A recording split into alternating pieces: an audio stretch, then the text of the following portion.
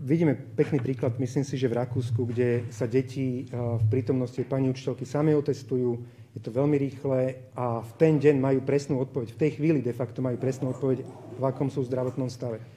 Ak by sme išli systémom takým, že raz za týždeň otestujete alebo raz za dva týždne otestujete, tak eh, poprvé tie koktacie testy sú dramaticky drahšie. V Rakúsku ten test, ktorým si sa deti na prvom stupni testujú, sú dve, stojí 2,40. U nás to, čo predstavil pán minister Greling, stojí 20 eur. To je iba 8 krát drahšie, alebo o 700 drahšie.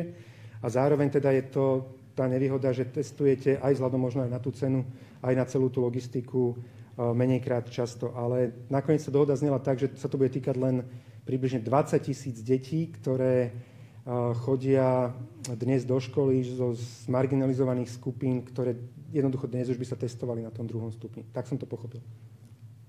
Že je to rámcová zmluva, že nie je to o masívnom naozaj testovaní a, a tak. A teda tie krátke, no, kratšie antigenové, to je ešte niečo otvorené v hre? Alebo? To je otvorené, myslím si, že zajtra o tom budem informovať trošku viac. Zajtra? No, zajtra je sobota. Áno. A čo, nechceli ste prísť do roboty? Ako v pohode, len či naozaj?